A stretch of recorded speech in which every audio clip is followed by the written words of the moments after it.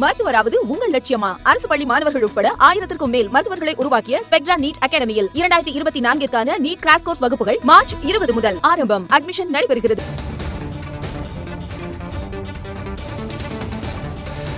அண்மை செய்தியை பார்க்கிறோம். நூறு நாள் வேலை ஊதியத்தை உயர்த்தி இருக்கிறது மத்திய அரசு. தமிழகம் புதுச்சேரிக்கான நூறு நாள் வேலை திட்ட ஊதியம் முன்னூற்று பத்தொன்பது ரூபாயாக அதிகரிக்கப்பட்டிருக்கிறது. அண்மை செய்தியாக பார்க்கிறோம். கூடுதல் விவரங்களை மூத்த செய்தியாளர் கணபதியிடம் கேட்கலாம். கணபதி இது தொடர்பான விரிவான விவரம். ஒரு நாள் நூறு நாள் வேலை திட்டத்துக்கான ஊதியத்தை அவ்வப்போது மத்திய அரசு அறிவிக்கிறது.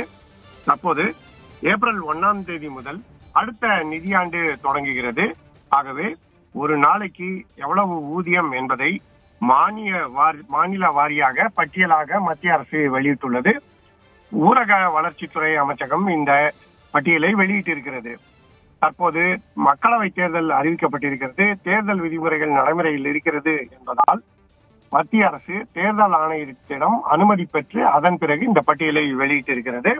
இந்த பட்டியல் படி பார்த்தோம் என்றால் அருணாச்சல பிரதேசம் போன்ற மாநிலங்களிலே ஒரு நாள் ஊதியம் இருநூத்தி முப்பத்தி நாலு ரூபாயாக இருக்கிறது. அதே சமயத்திலே கோவா போன்ற மாநிலங்களிலே ஊதியம் அதிகமாக இருக்கிறது. முன்னூற்றி ஐம்பத்தி ஆறு ரூபாய் ஒரு நாள் ஊதியம் கோவாவிலே என நிர்ணயிக்கப்பட்டிருக்கிறது. நீங்கள் சொன்னது போல தமிழ்நாடு மற்றும் புதுச்சேரிக்கு ஒரு நாளைக்கு முன்னூத்தி பத்தொன்பது ரூபாய் என நிர்ணயிக்கப்பட்டிருக்கிறது. இந்த பட்டியல் படி பார்த்தோம் என்றால் கோவா மாநிலத்துக்கு தான் தற்போது மிகவும் அதிகமாக கிட்டத்தட்ட ஒரு நாள் ஊதியத்திலே முப்பத்தி நான்கு ரூபாய் அதிகரிக்கப்பட்டிருக்கிறது. உத்தரப்பிரதேசம் உத்தராகண்ட் போன்ற மாநிலங்களிலே ஊதிய உயர்வு ஒரு நாளைக்கு வெறும் இரண்டு ரூபாய் தான். ஆகவே நூறு நாள் வேலை திட்டத்தின் கீழ் கிடைக்கும் ஊதியம் அனைத்து மாநிலங்களிலுமே அதிகரிக்கும். ஆனால் ஒரு சில மாநிலங்களிலே கூடுதலாக அதிகரிக்கிறது ஒரு சில மாநிலங்களிலே குறைவாக அதிகரிக்கிறது. அந்தந்த மாநிலங்களில் உள்ள நிலவரப்படி இதை மத்திய அரசு அவ்வப்போது அறிவிக்கிறது. அதன்படி அடுத்த அறிவிப்பு தற்போது வெளியிடப்பட்டிருக்கிறது. இந்த புதிய ஊதியம் ஏப்ரல் ஒன்னாம் தேதி முதல் அமலுக்கு வரும் விக்னேஷ். ஒவ்வொரு மாநிலத்திற்கும் ஒவ்வொரு வகையாக இது பிரிக்கப்பட்டிருக்கிறது. இதற்கு என்ன காரணம் கணபதி? ஒவ்வொரு மாநிலத்திலும் அந்தந்த மாநிலத்திலே இது ஒரு நாளைக்கு இவ்வளவு ஊதியம் என நிர்ணயிக்கப்படுகிற போது அந்தந்த மாநிலங்களிலே செலவீனங்கள் எப்படி இருக்கிறது பணவீக்கம் எப்படி இருக்கிறது போன்ற பல்வேறு விஷயங்களை கருத்தில் கொண்டு இது நிர்ணயிக்கப்படுகிறது.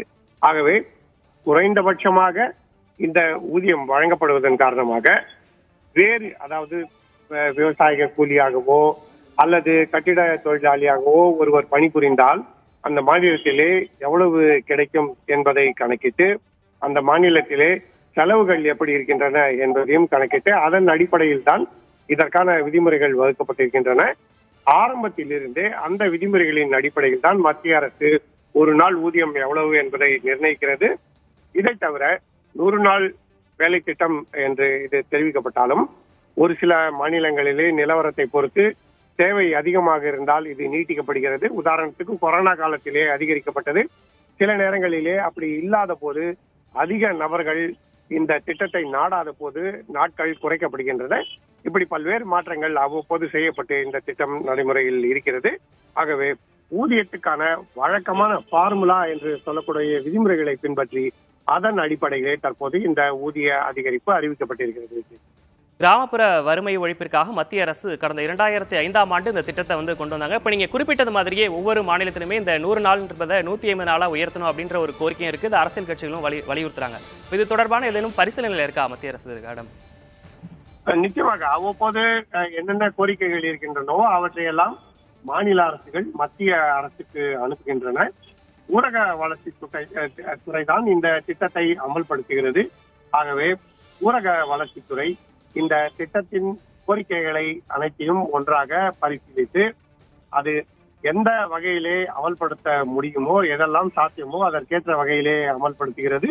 ஆகவே நாடு முழுவதும் ஒரே மாதிரியான திட்டம் என்றாலும் ஊதியம் மட்டும் ஒரு நாளைக்கு ஒவ்வொரு ஒரு ஒரு மாநிலத்திலும் வெவ்வேறாக இருக்கிறது. அந்த வித்தியாசத்தை மட்டும் கணக்கில் கொண்டு சிறப்பு தேவைகள் ஏதேனும் இருந்தால் அதாவது ஒரு மாநிலத்திலே விவசாயம் பாதிக்கப்பட்டிருக்கிறது ஆகவே கூடுதல் நாட்கள் வேலை வழங்க வேண்டும். கணபதி நீங்க இணைப்பில் இருங்க. தற்போது நமது இணைப்பில் மூத்த பத்திரிகையாளர் திரு தராசு ஷாம் இணைந்திருக்கிறார். அவரிடம் பேசலாம். சார் வணக்கம். சார் வணக்கம். வணக்கம். சார் இப்போ ஒரு அறிவிப்பை மத்திய அரசு வெளியிட்டிருக்காங்க. இப்போ பார்த்தீங்கன்னா கிராமப்புற வேலைவாய்ப்பு வழங்கக்கூடிய அந்த திட்டத்தில் ஊதியத்தை அதிகப்படுத்தியிருக்காங்க. இப்போ தேர்தல் நடத்தை விதிமுறைகள் வேற இருக்கு. இது எந்த அளவுக்கு சாத்தியம்? இது மாதிரி பண்ணலாமா? பொதுவாக தேர்தல் நடத்தை விதிமுறைகள் அமலில் இருக்கும்போது புதிய அறிவிப்புகள் வெளியிட முடியாது. ஆனால் ஒரு விளக்கு இருக்கிறது. அதாவது ஏற்கனவே நடந்து கொண்டிருக்கிற அல்லது ஏற்கனவே அனுமதி பெற்றிருக்கிற ஒரு விஷயம் குறித்த மேலதிக அறிவிப்புகளை வெளியிடலாம். ஆனால் தேர்தல் ஆணையத்தின் அனுமதி பெற வேண்டும். முன்கூட்டியே அனுமதி பெற வேண்டும். இந்த விஷயத்தை அனுமதி பெற்றார்களா என்று எனக்கு தெரியவில்லை. ஆனால் சில சிறப்பு சந்தர்ப்பங்களில் இப்படி வெளியிடலாம். என்றாலும் பாரதிய ஜனதா தேர்தல் நலனை மனதில் கொண்டுதான் இந்த அறிவிப்பை வெளியிட்டிருக்கிறது. காரணம் நூறு நாள் வேலைவாய்ப்பு திட்டத்திற்கு ஊதியம் உயர்த்தி கொடுக்க வேண்டும் என்பது நீண்ட நாள் கோரிக்கை. நாங்கள் கிராமப்புறங்களிலிருந்து வருபவர்கள் எங்களுக்கு அதை பற்றி மிக நன்றாக தெரியும். மிக குறைந்த ஊதியம் எண்ணிக்கையிலான நாட்களும் மிகவும் குறைவாது நூற்றி ஐம்பது நாட்களாக உயர்த்த வேண்டும் என்பது இன்னொரு கோரிக்கை. இப்போது தேர்தல் வர இருப்பதால் அல்லது நடந்து கொண்டிருப்பதால் பாரதிய ஜனதா தேர்தல் கண்ணோட்டத்தோடு தான் இதை வந்து அறிவித்திருக்கிறது. ஆனாலும் எதிர்க்கட்சிகள் இதை ஆட்சேபனை தெரிவிக்கும் நீதிமன்றத்திற்கு போகும் அதையெல்லாம் எப்படி சமாளிக்க போகிறார்கள் என்று எனக்கு தெரியவில்லை. பொதுவாக இப்படியான அறிவிப்புகள் தேர்தல் நடத்தை விதிமுறைகள் இருக்கும்போது அந்த லெவல் பிளேயிங் ஃபீல்டு என்று சொல்வோம் அல்லவா? சமமான ஆட்டக்களம். அதை வந்து அந்த அந்த கோட்பாடை இது உடைத்து விடும் ஆளுகிற அரசுக்கு அறிவிக்கக்கூடிய வாய்ப்பு இருக்கிறது. ஆனால் எதிர்க்கட்சிகளுக்கு அப்படியான வாய்ப்பு கிடையாது. எனவே தேர்தல் காலத்திலே சமமான ஆடுகளும் பாதிக்கப்படும். அந்த வகையிலே இதை நாம் ஆட்சேபிக்கத்தான் வேண்டும். என்றாலும் கிராமப்புற மக்களின் நன்மை என்ற வகையிலே பார்க்கும்போது காலம் கடந்த அறிவிப்பு காலம் தவறி பெய்கிற மழை என்றாலும் மழை மழைதானே. நிச்சயமாக சார். இணைப்பில் வந்து உங்களுடைய கருத்துக்களை பகிர்ந்து கொண்டமைக்காக நன்றி சார். மருத்துவராவது உங்கள் லட்சியமா? அரசு பள்ளி மாணவர்கள் உட்பட ஆயிரத்திற்கும் மேல் மருத்துவர்களை உருவாக்கிய ஸ்பெக்ட்ரா நீட் அகாடமியில் இரண்டாயிரத்தி இருபத்தி நான்கிற்கான நீட் கிராஸ் கோர்ஸ் வகுப்புகள் மார்ச் இருபது முதல் ஆரம்பம். அட்மிஷன் நடைபெறுகிறது.